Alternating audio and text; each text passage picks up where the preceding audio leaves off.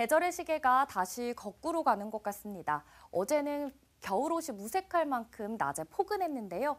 오늘 아침 기온은 조금 내려갔지만 낮 기온은 어제보다 더 오르겠습니다. 현재 대구의 아침 기온은 영하 0.1도, 안동은 영하 1도, 포항은 4도로 출발하고요. 낮에는 따뜻한 서풍이 유입되면서 대구의 기온은 19도, 안동은 16도, 포항은 20도까지 기온이 껑충 오르겠습니다. 더불어 일교차도 15도에서 많게는 20도까지 크게 벌어지겠습니다. 내일은 아침 기온도 오늘보다 더 오르겠고요. 당분간 대구와 경북 대부분 지역에서 평년 기온을 웃돌며 포근하겠습니다. 다만 경북 동해안과 경북 북동 산지에는 오늘 오전부터 내일 아침 사이 순간 풍속 시속 70km 이상의 매우 강한 바람이 예상됩니다. 특히 계속해서 건조주의보도 이어지고 있어 경북 동해안 지역은 대기가 매우 건조하겠습니다. 작은 불씨가 큰 불로 이어지지 않도록 화재에 유의하시기 바랍니다.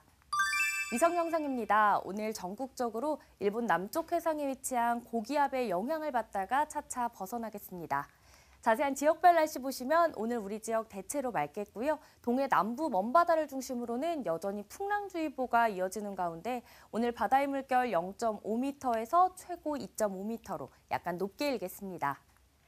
오늘 아침 대구의 기온은 영하 0.1도, 김천은 영하 4도로 출발합니다. 낮에는 대구 19도, 김천은 17도까지 오르겠습니다. 안동의 현재 기온은 영하 1도, 상주는 영하 2도 가리키고 있고요.